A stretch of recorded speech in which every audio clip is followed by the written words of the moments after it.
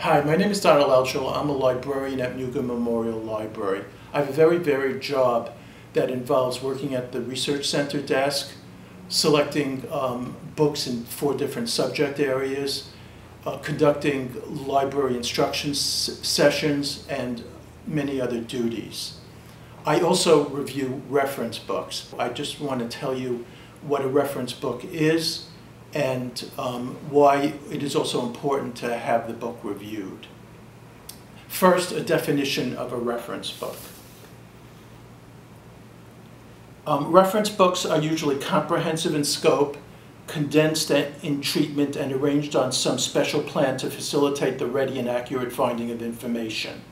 This special arrangement may be alphabetical, as in the case of most dictionaries or encyclopedias, chronological, as in historical outlines and similar compends, tabular, as in the case of statistical abstracts.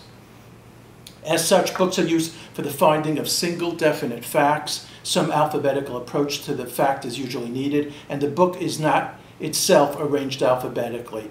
Works which follow any of these indicated arrangements are reference books, pure and simple, and are not used for consecutive reading. This is a general book, and people usually read it in, on beaches or elsewhere. This is a reference book, and people don't usually read this at, at the beach or anywhere else. So let's discuss a, a few reference books. Um, let's start with some um, unusual titles. Here's a book called Women, Serial, and Mass Murderers, a worldwide reference, 1580 through 1990. Now, according to the definition I just read, it is considered a reference book because of its arrangement, scope, and treatment of the topic. A library user would consult this work but not read it consecutively. So, it's a reference book, but is it a good reference book? Well, according to Choice Magazine, which is read by acquisition librarians, um, a review appeared that questioned the um, usefulness of this. The first sentence read, there has been a need for a scholarly discussion of the female serial murderer for a long time. This book does not fill that need. Wow. The reviewer certainly is not shy about making his judgment. And then the reviewer mentions numerous problems in just a 200 word review of the book.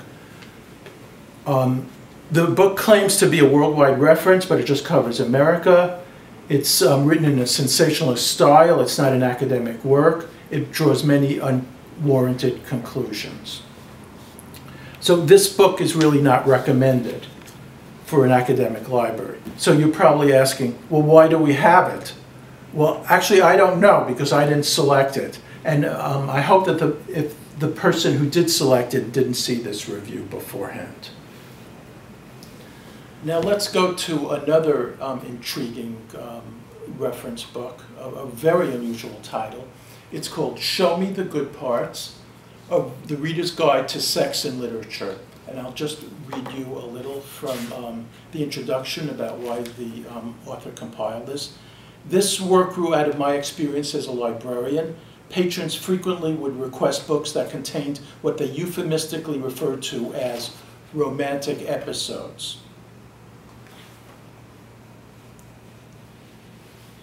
Rationalizations emerged as the work progressed. It would save people eye strain. Why not circumvent having to read 500 pages in order to find therein a housekeeper and her master in romantic embrace. Um, it would save the buying public time from be, being cheated by false packaging. So what the author did was, um, it's an annotated bibliography of, um, of sex and literature. And the author, to save the reader time, indicates the pages where there are good parts. So let me just um, discuss one, one of these um, chapters here, like on fantasy.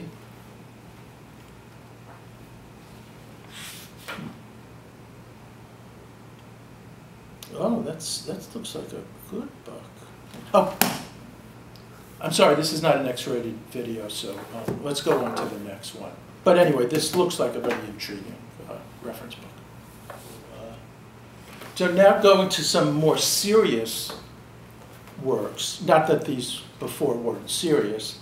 Um, I want to mention um, this two-volume work, A Guide to Congress. It's published by the Congressional Quarterly Press. And it has numerous charts that give um, quick information about Senate impeachment trials, um, the number of appearances of presidents before Congress, and there's um, a very long narrative section. Now you're probably saying, well, I could find this on Google. And you're right, you could find a lot of this material on Google, but you would get hundreds and hundreds of hits. This two-volume work is very easy to browse, and you could find the material um, quite um, quickly. Um, we don't have this available electronically, but we, we do have it in print. We don't have it electronically yet. And um, I just want to emphasize that um, our reference collection does have a lot of print material that isn't available electronically. And um, the students should really avail themselves of, of this material. Um, here's another um, excellent reference set. It's called the African American National Biography. It's an eight volume print set that we own, and it covers uh, biographies of Africans, Africans and African Americans who came to this country starting in 1528. Esteban um, arrived in South Florida, in Spanish Florida at that time, and uh, co also covers um, many um, contemporary Americans.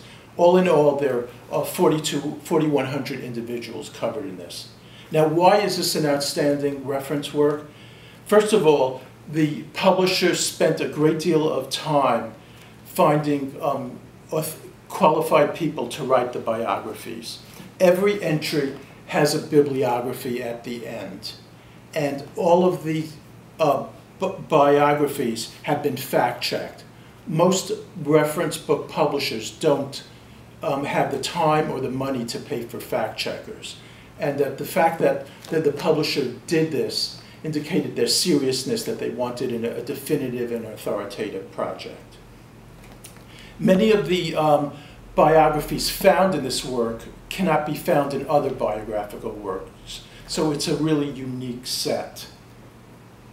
And finally, this um, eight volume set was compiled um, under the supervision of major scholars of African American history, culture, and life. Um, similar to the um, Congress volume, we don't have this currently available um, online. But um, we do have the print set, and you're welcome to use this when you come to the library. The reason I'm um, emphasizing about the print set we have is because many students think everything is on Google. If it's not on Google, then it's available on electronic resources.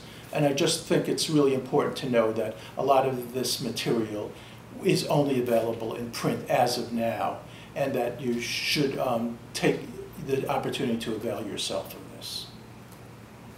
So that's my um, short little introduction to um, reference books, both print and electronic. And um, in the meantime, I'll see you at Revere Beach.